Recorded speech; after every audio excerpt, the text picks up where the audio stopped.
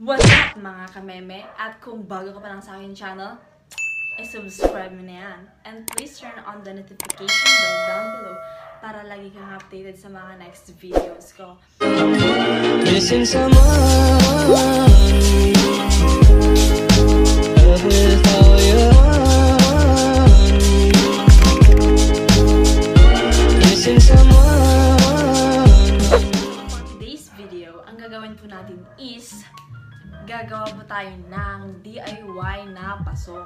Sa mga mahilig pong mag-alaga dyan ng cactus or halaman, pang-design sa bahay, gano'n.